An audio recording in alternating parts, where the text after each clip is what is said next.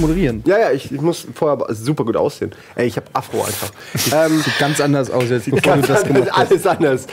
Jetzt hör doch mal auf, mich hier Ja, unsicher zu machen. Jetzt bin ich unsicher, siehst du? Und ich habe nur diese blöde schwarze äh, Spiegelung. Dass du immer noch an deine Haare denkst, nach so vielen Jahren, wo du doch schon eh alles zu deinem The zum Thema Haaren gehört Ja, hast. es stimmt. Das ist doch Du, ja, und du hast dich halt für die Kappe entschieden. Und, Exakt. Und, siehst du, der Schröckert ist schon ja, wieder auch weil er, Lob weil er einen Lob gekriegt hat, wie er aussieht ohne Kappe. Er sieht ja auch fesch aus. Du glaubst du, das Lob habe ich zum ersten Mal gekriegt ohne Kappe? Wir laufen schon, oder? Glaubst du, das war wirklich das erste Mal, dass jemand gesagt hat, es sieht gut aus? Lassen wir Kappe? einfach alles so. Herzlich Erst mal, dass willkommen. ich es gelesen habe. Ja, dass du es gelesen Jetzt sei doch mal ruhig, lass ich noch mal jetzt was sagen hier. Wir Ja, nehmen das doch schon mit. auf. Das nehmen wir alles nehmen mit. wir Da kannst du aber von ausgehen. Herzlich willkommen zu, das ist der Spannendste an dem ganzen Ding, zu Jan Tenner äh, und erwachsenen Männern. Wir hören Folge 5 und wir haben wenig Zeit jetzt heute hier im Studio. Ich bin ein bisschen zu spät gekommen heute. Ähm, Ein bisschen. eine Stunde, okay. Und deswegen müssen wir uns jetzt beeilen, dürfen nicht so viel labern, äh, denn wir haben ja hier noch mehr zu produzieren. Viel Spaß mit Gefährliche Insel. Jan Tenner schon auf dem Cover. Sieht man schon. Jan Tenner wieder mal nackt. Welcher Teil? Äh, das ist Folge 5. Äh, um es kurz zu rekapitulieren, die Folge 1 haben wir ja alle gehört, die war ziemlich geil. Die zweite war ein bisschen langweilig, tödlicher Nebel. Die dritte war hier Gefahr aus dem All, die war auch nur so okay. Landung der Giganten war Nummer 4, die war auch nur so okay. Ich hoffe, dass jetzt mal wieder eine Folge kommt. Ziemlich- Aber hey, Ziemlich gut. die sind War- beide nackt. Ist auf jeden Fall ein Grund, immer weiter zu hören. Das ist bestimmt Unsichtbarkeitsserum im, im Spiel, oder? Wir haben schon natürlich, ist wie immer Unsichtbarkeitsserum, da muss man sich ausziehen. Deswegen ist, und es ist Laura hier, die neue. Die neue. Die alte ist im Eis wegen einer unheilbaren Krankheit. Aber das und, war er ist, und sie ist schon direkt anders als das Mädel aus Ta- Folge 1, die du kennst. Aber Laura ist doch schon direkt in der zweiten Folge irgendwie dann aufgetaucht, oder? Nee, dritte war es, Dritte, glaub ich. Oder, oder was, die vierte? Sie wird irgendwann, es war eine der vorletzten Folgen, war sie eingefroren, also die alte Freundin von Jan Tenner, die immer so nervig war, so, so nett. Und die ist Und halt so schon Konter. Ne? Ja, und die gibt jetzt auch mal Konter. Wie lange es ist dauert eigentlich besten. so eine Folge? Äh, 40 Minuten ungefähr. Also, wenn man die Musik wegnimmt, wären es, glaube ich, 30. Ähm, und sag mal jetzt nur kurz eine Frage. War Ja? Professor Zweistein schon da? Planet der Puppen, von dem du erzählt hast, den du hast, ist übrigens Folge 28. Zweistein und so ist immer dabei. Also nee, du meinst, ähm, In den bisherigen Folgen. äh, äh, nee, nee, nee, natürlich. Also die, die Bösen, die großen Bösen sind noch nicht äh, enthüllt. Super. Da, da, äh, wir sind jetzt in der Phase, wo sie noch keine Ahnung hatten. Ja? Ede, Schnell, äh, Ede pennt schon. Ich habe ihm auch erlaubt, er darf auch pennen, weil das finde ich ist okay. Es gehört zu Jan Tenner, dass man auch mal einpennt und später die Folgen noch mal Ich habe. Hörspiel immer zum Einschlafen gehört. Das ist, triggert das automatisch den Schlafprozess. Ist völlig okay. Okay, aber ich habe auch einen Burger zum Mittag gegessen, so genau wie du. Ihr könnt übrigens gerne Ich habe ein kleines Kind zu Hause. nutzen wir an der Stelle mal. Ja, ihr habt wirklich bei, ihr beide Kinder und so ist alles hier. Äh, danke, dass ihr die Zeit habt. Ihr könnt die Folgen ja dann mitnehmen. Jetzt macht doch einfach mal auf Play. Ich wollte noch eines sagen. Wenn ihr, wir dürfen ruhig mal ein bisschen Massenmedia äh, Nutzen haben hier. Wenn ihr jetzt sagt, Mensch, dieses Jan Tenner, das machen die von den Rocket Beans aber total geil. Dann haut doch mal die Leute von Jan Tenner an und sagt denen, die sollen uns Geld geben, dass wir neue Folgen produzieren. Als ob sie können. noch, die gibt's doch gar gibt's- nicht mehr. Doch, die, also von einer Weile gab es die noch. Die haben nämlich Folge 78, äh, 48 versucht zu produzieren. Äh, hier, nee, 46 war es. Mimo der Rächer. Die kam irgendwann. Egal. Die haben es also irgendwann wieder gemacht. Vielleicht gibt es die noch. www.jantenner.de so, so, genug gelabert. Jetzt haben wir doch wieder geschwafelt. Von wann sind denn die Kassetten, wenn es da schon Internet gab? Äh, das ist die Neuauflage. Also die, die alten Cover, aber die neuen, äh, ein bisschen Neuauflage. Und Internet gibt es ja dann jetzt auch schon eine Weile. Jetzt hast du das alles voll unschön gemacht. Das muss doch immer lesbar sein.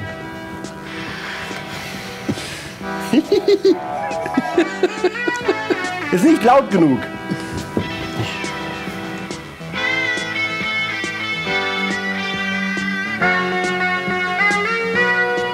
Nicht, dass es rückkoppelt. Wie bitte? Nicht, dass es zurückkoppelt. Ist es zu laut? Okay, sagt Professor man. Futura ist der erfolgreichste Wissenschaftler von Westland. Klar. Ihm sind in den letzten Jahren eine Reihe von bahnbrechenden Erfindungen gelungen, die ihn auf der ganzen Erde bekannt gemacht haben.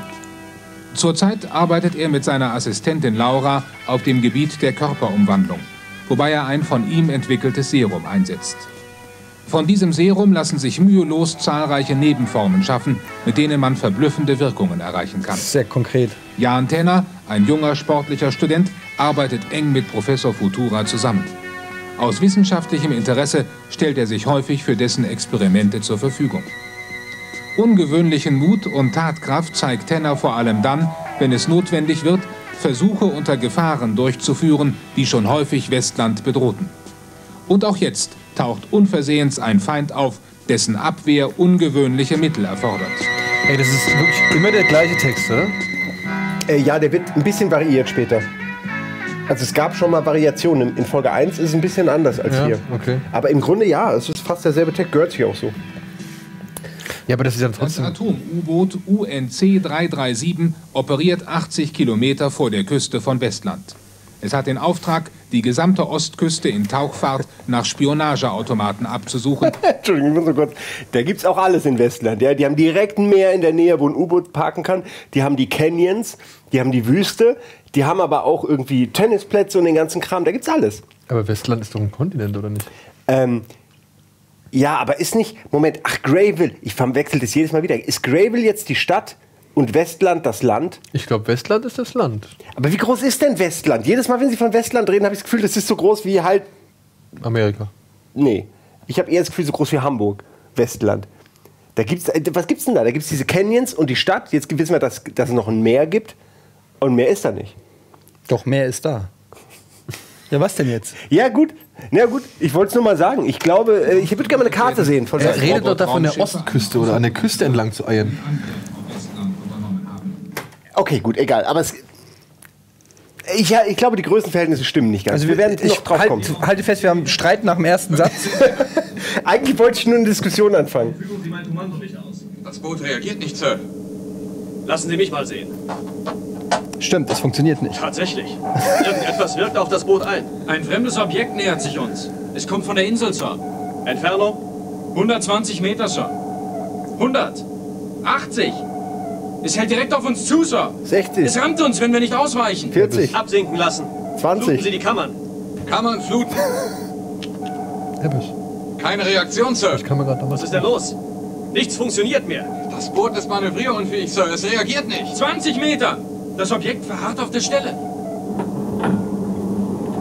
Geben Sie Alarm. Alarm! Das Ding nimmt uns auf den Haken. Es schleppt uns ab. Geben Sie eine Funknachricht ans Hauptquartier ab. Sofort. Hier ist alles tot, Sir. Die Funkgeräte funktionieren nicht mehr. James Bond. Aus. Moonraker, gell? So etwas hätte ich für unmöglich gehalten. Wir können nichts tun. Legen Sie Waffen an. Klauen Sie Moonraker nicht, ist nicht auf dem Schiff? ein U-Boot mit Besatzung Nee, da wird die Rakete geschluckt von Waffen einem Die Rakete klauen Sie. Ja. ein Satellit.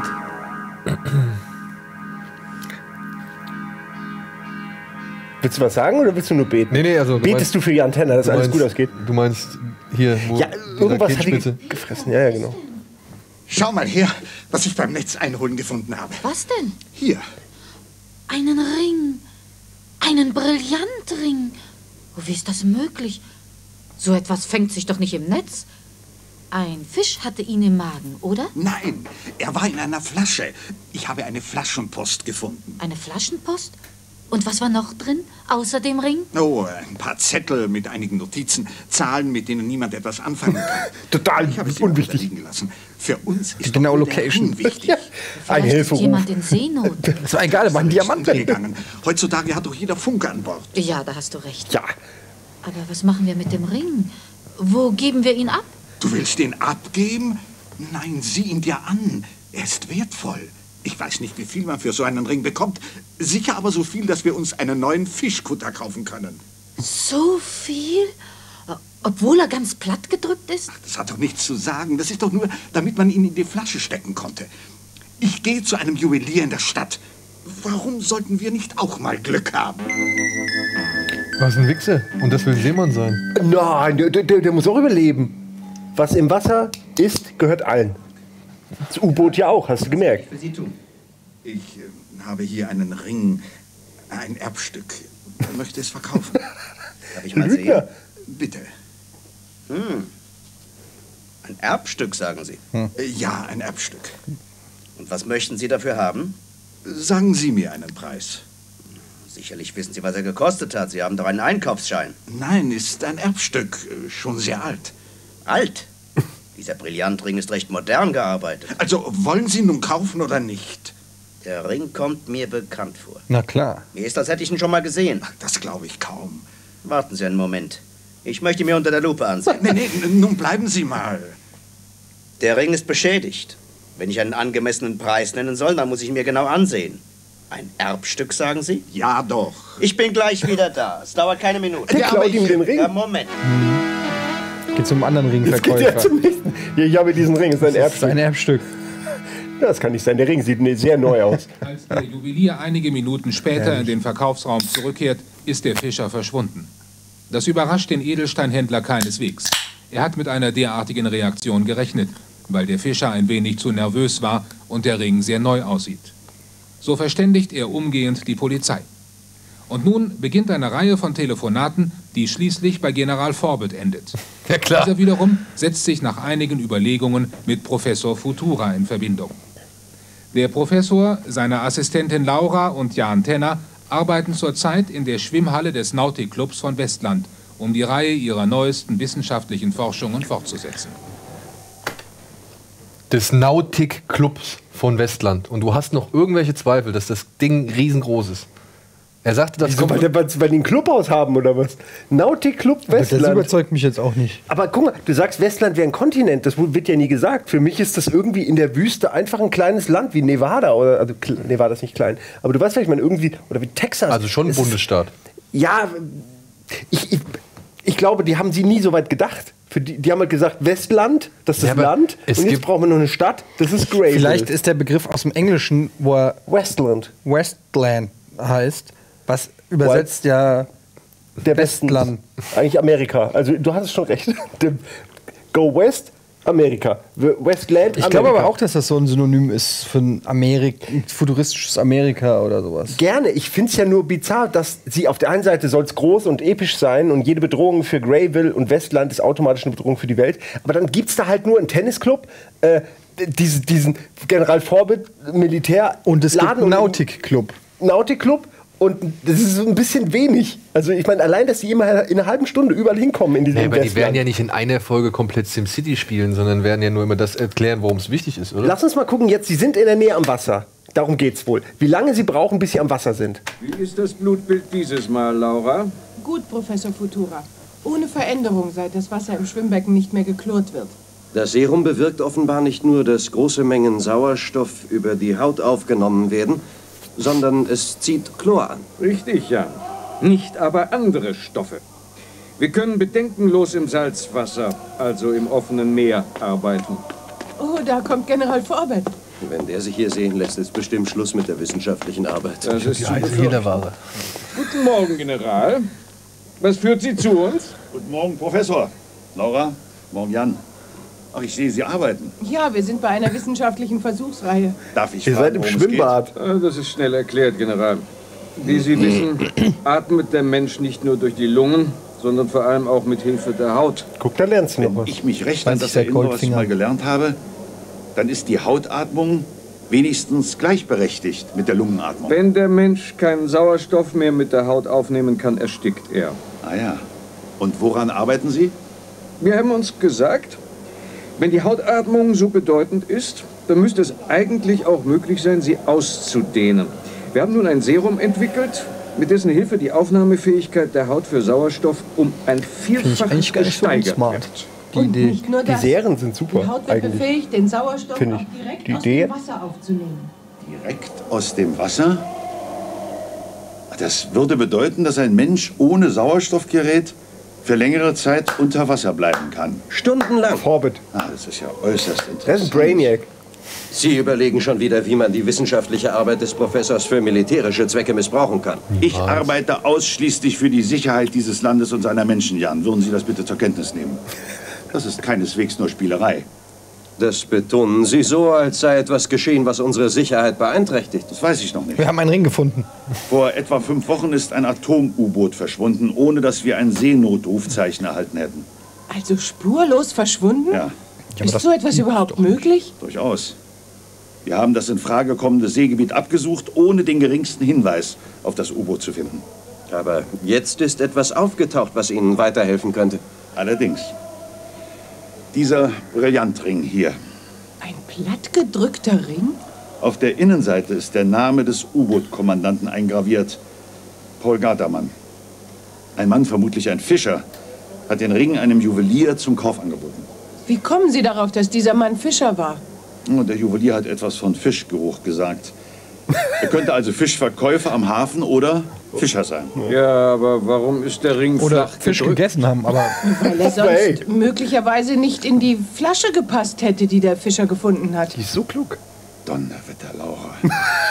Sie haben recht. Donnerwetter. Sogar, ich mein, muss in ein... Hallo, das ist der fucking militärische Führer des ganzen Landes und dieser eine Fischer hat sofort gecheckt, warum der platt gedrückt wird, aber er braucht ja Antenne dafür. Und vor Oder allen Dingen, Laura. Vor Ja. allen Dingen sagt er Donnerwetter. Das ist auch nicht mehr in unserem Sprachgebrauch. Das wird viel, zu, Donnerwetter. nee, viel zu selten, als der Simon vorher nicht da war, hat keiner gesagt, Donnerwetter, es ist aber schon Viertel nach zwei. Ja. Hat keiner gesagt. Bauen wir wieder ein jetzt. Donnerwetter? Das Donner- und Donnerwetter. ist Knorke, muss auch wieder kommen. Und Sapperlot. Sapperlot. Ja, und Mumpitz. Mumpitz. Ja, Das ist doch alles Mumpitz. Mumpitz ist auch ein schönes Wort. Da muss doch schön jemand ins Gesicht spucken dabei, wenn man das sagt. Mumpitz. Und Kokolores. Kokolores sehr ist schön. Flitzpiepe. Aber sag mal, Entschuldigung, es ist ein, was? Diamantring. Äh, Brillantring. Brillantring. Ja. Ein U-Boot-Cap mit Brillantring? Das wird erklärt. Also äh, nicht gut erklärt, aber es wird erklärt. Abwarten. Abwarten, ja. Vielleicht war es ja eine Frau, ein weiblicher U-Boot-Kommandant. Auch das wissen Paul, Was ist das jetzt? der weibliche U-Boot-Kommandant. Gewesen sein. Zusammen mit weiteren Hinweisen. Wir müssen diesen Fischer finden. Lassen Sie eine Phantomzeichnung anfertigen, General. Hä? Haben wir jetzt gerade irgendwas? Zusammen mit weiteren Hinweisen. Entschuldigung, ich muss Wir mal müssen- gerade. Hab ich Hat. Donnerwetter, Laura. Sie haben recht. Der Ring muss in einer Flasche gewesen sein. Zusammen mit weiteren Hinweisen. Wir müssen diesen Fischer finden. Lassen Sie eine Phantomzeichnung anfertigen, General. Und dann kämmen wir den Hafen durch. Gute Idee, Jan. Gehen wir gleich ans Werk. Obwohl der Kreis der in Frage kommenden Personen recht klein ist, fahnden die Beamten General Forbitz, Jan Tenner und Laura, die schöne Assistentin von Professor Futura, drei Tage lang nach dem Fischer, bis sich endlich ein Erfolg abzeichnet. Fischleute, Das ist die schöne Assistentin. die Aale sind preiswert heute. Entschuldigen Das ist die zweite schöne Sie Assistentin. Schon die erste war ja schön. Klar. Zeigen Sie mal. Zeigen Sie mal das Bild her. Aha. Wer soll das sein? Ein Fischer vielleicht oder jemand, der hier eine Fischbude hat. Ein Fischer? Ja, warten Sie mal. Ja, das könnte der Tim sein. Sehr ähnlich ist die Zeichnung nicht, aber immerhin. Und wo finden wir diesen Tim? Dort drüben. Das Haus direkt am Wasser. Tim arbeitet an seinem Kutter, seiner alten Liebe. Danke. Nicht zu danken. Fischleute! Kauft frischen Fisch, kauft alle! Endlich. Ich dachte schon, wir finden ihn nie. Noch haben wir ihn nicht. Ich glaube, er ist es wirklich. Sieh ihn dir doch an. Könnte sein. Hallo? Sind Sie Tim? Tim? Ja, man nennt mich Tim. Wir haben ein paar Fragen. Ja, dann raus damit. Sind Sie der Mann, der vor drei Tagen beim Juwelier Banninger war, um einen Ring zu verkaufen? Diesen Ring hier? Den Ring habe ich nie gesehen. Wollen Sie wirklich, dass die Polizei Sie dem Juwelier gegenüberstellt? Das könnte sehr unangenehm für Sie werden. Wer sind Sie? Polizei? Nein. Schöne Assistentin. Wir suchen Commander Gattermann. Sein Name steht auf der Innenseite des Rings. Er ist Seemann wie Sie und verschollen. Tja, so. Wir glauben, dass Sie eine Flaschenpost gefunden haben. Und da war dieser Ring drin. Und wahrscheinlich Papiere. Auf die haben wir es abgesehen. Also? Tja, wenn das so ist, dann. ähm, Also ja, ich habe die Flaschenpost gefunden. Kommen Sie mit, ich gebe Ihnen die Papiere. Sie liegen im Kutter. Stehen aber nur Zahlen drauf. Die genügen uns vollkommen. Das ist ein Fischer mit einem eigenen Kutter. Der nicht erkennen will, dass die Zahlen da irgendwie eine Positionsangabe sein können. Der wirklich, ja, schon ein bisschen blöd. Ne? weißt du denn, dass es eine Positionsangabe ist? Tenner und Das Laura kommt gleich. Das ist das Sudoku-Rätsel des Captains. Könnte sein. Professor Futura, den sie telefonisch von ihrem Fund verständigt haben, trifft wenig später im Büro des ranghöchsten Offiziers von Westland ein. Professor Futura, gut, dass Sie kommen. Jan und Laura haben den anderen Teil der Flaschenpost. Und? Können Sie etwas damit anfangen? Sehr viel sogar. Wenn Kommandant Gartermann diese Nachricht hier wirklich geschrieben hat, dann befindet er sich auf einer Insel. Dann sind die Zahlen eine verschlüsselte Positionsbestimmung. Richtig. Gartermann bezeichnet diese Insel hier. Sie liegt etwa 80 Kilometer vor der Küste. Wieso gibt er die Position verschlüsselt an? Das ist für uns ein weiterer klarer Hinweis darauf, dass die Nachricht wirklich von ihm kommt. Eine Insel? Seltsam. Was gut, ist das für eine. Insel? Gehört sie zum Territorium von Westland? Eindeutig. Und doch nimmt sie eine Ausnahmestellung ein. Das müssen Sie uns erklären, General. Gern, Laura. Äh, Die. Insel gehört dem General Spirit, einem General außer Diensten, einem früher Spirit? außerordentlich tüchtigen Militärstrategen. General Spirit?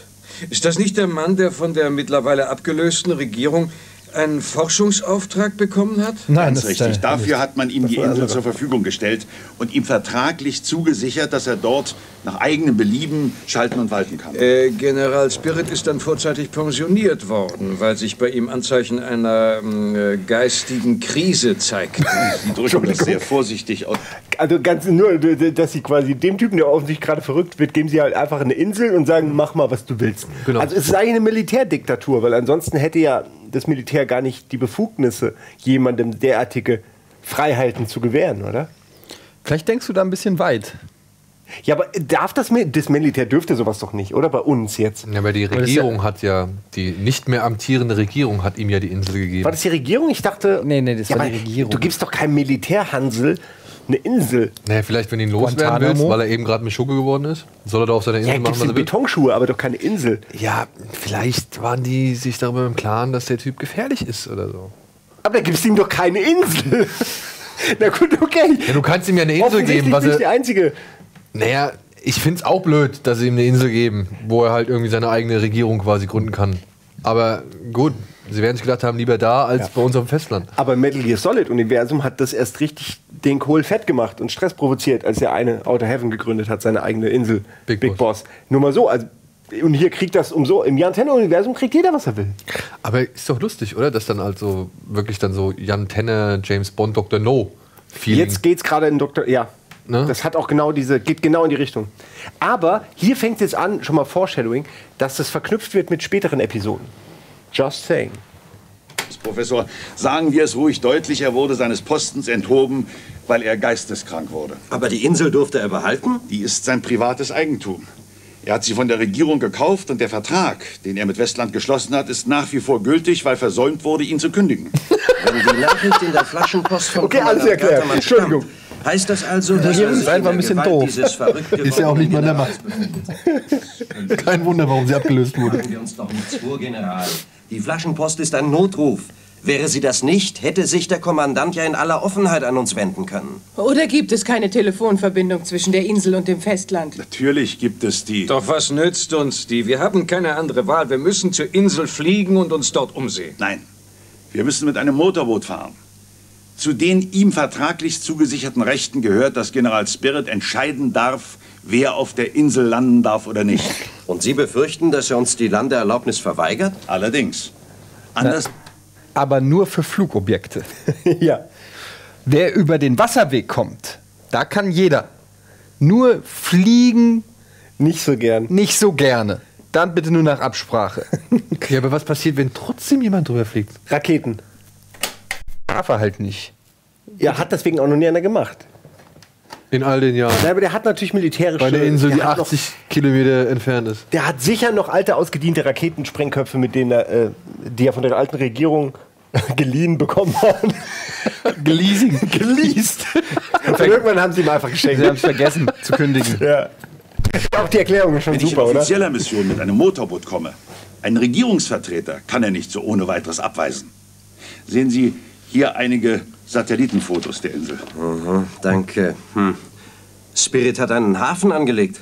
Es gibt keinen Landeplatz für Flugzeuge. Aber Hubschrauber könnten landen. Spirit scheint zahlreiche unterirdische Anlagen errichtet zu haben. Ja, das ist es, was uns zusätzlich beunruhigt. Von Das sehen einem wir hier mit den Atom-U-Boot ist hier Satellitenbildern. doch nichts zu sehen. Damit habe ich auch nicht gerechnet. Wenn da irgendetwas faul ist, dann wird Spirit kaum so dumm sein, uns in aller Offenheit zu zeigen, was da nicht stimmt. Lassen Sie uns nicht länger warten, General. Wir sollten aufbrechen. Für Kommandant Gartermann könnte jede Minute wichtig sein. Gut, begleiten Sie mich. Mein Adjutant wird uns anmelden.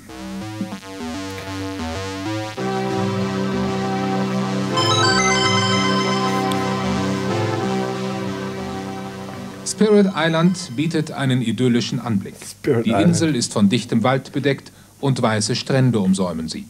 Sie scheint ein Ferienparadies zu sein und nichts deutet darauf hin, dass sie etwas anderes sein könnte. Außer dem Tyrannosaurus Rex. Legen Sie an der Treppe an. An der Treppe, Sir. Jan. Das wäre geil, wenn sie da Dinos Da hätten ist jetzt. General Hm. Adi Spirit. Er kommt zur Treppe, um uns zu begrüßen. Ich hatte ihn mir viel größer vorgestellt. Und ich dachte, er ist weißhaarig. Aber hat er tiefschwarzes Haar? Wie alt ist er eigentlich? 55. Und warum lässt er sich von sieben schwer bewaffneten Männern begleiten? Das frage ich mich auch. Weil er es kann. Äh, Machen Sie fest, Sergeant. Festmachen, Sir.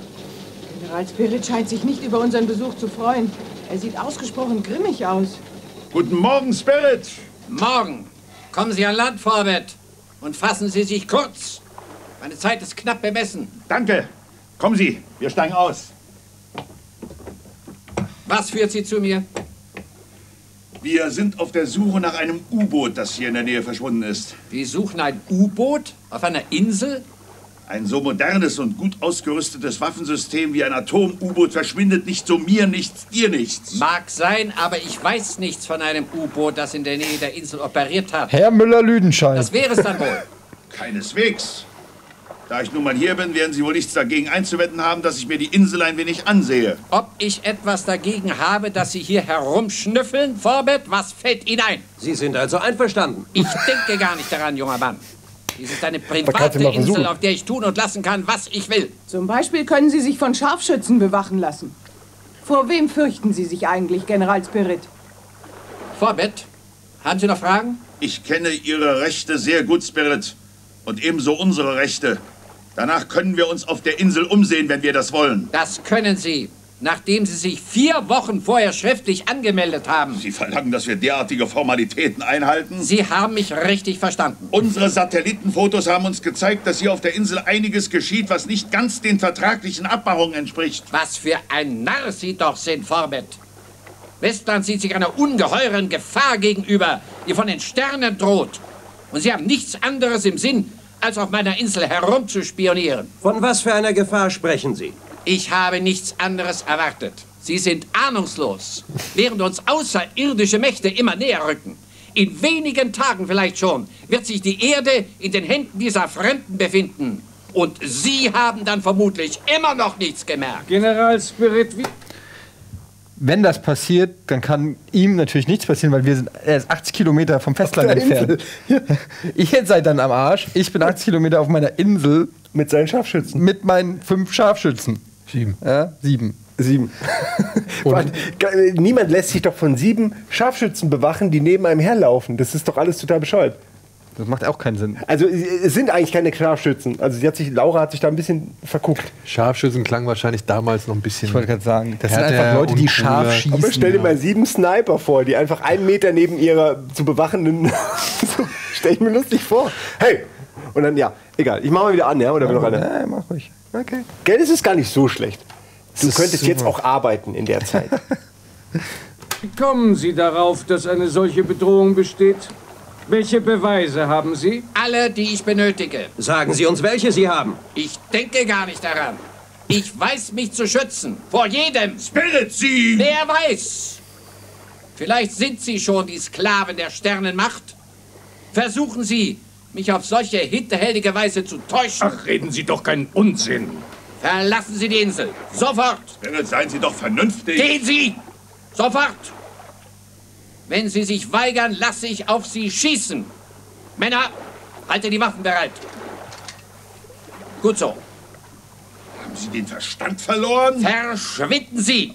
Ich kenne meine Rechte. Und halten Sie sich nicht mit dem Motorboot in der Nähe der Insel auf. Meine Waffensysteme vernichten jeden Gegner, der sich mir über oder unter Wasser nähert. Gut. Professor, Laura, Jan, kommen Sie, wir fahren ab. Ins Boot. Sergeant, halten Sie sich bereit. Bin bereit, Sir. Fahren Sie los.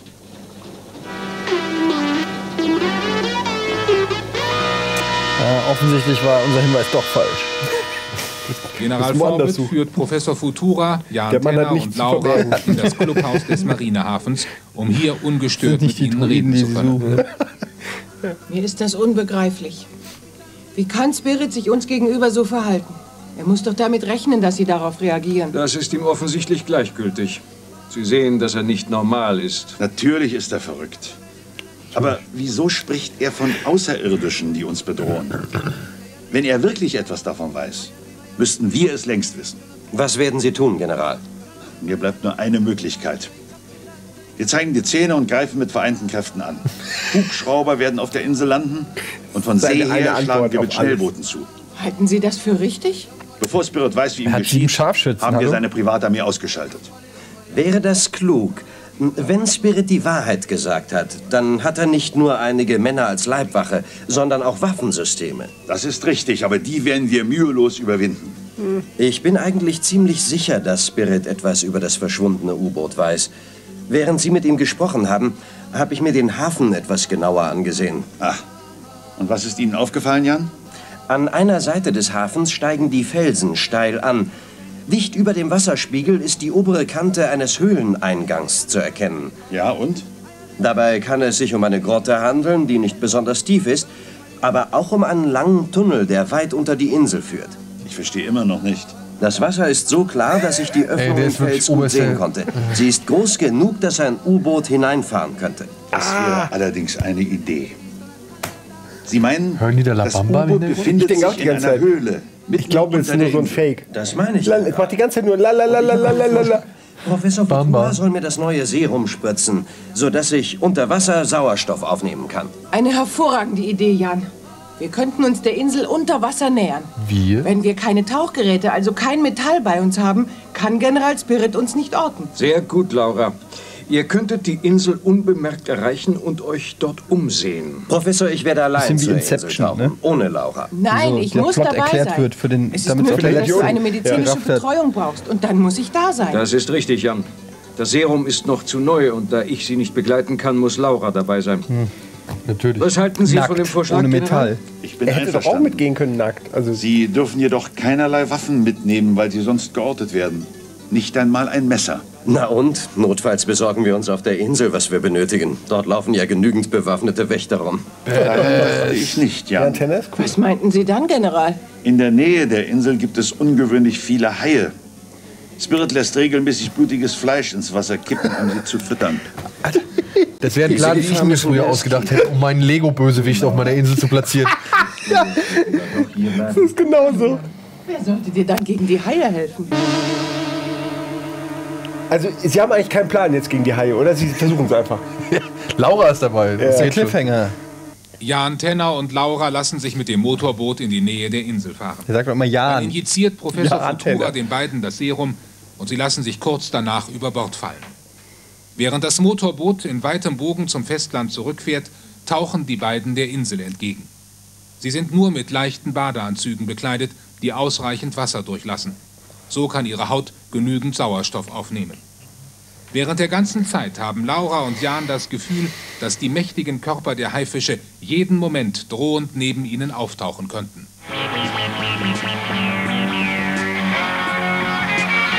Das war eigentlich schon beängstigend.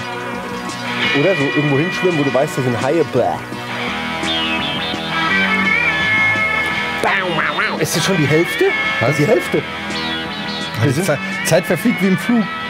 Ach, es war doch schon ganz nett. Guck mal, was wir alles jetzt äh, erfahren haben für, für spannende Geschichten. Und es geht noch weiter. Es wird noch viel besser.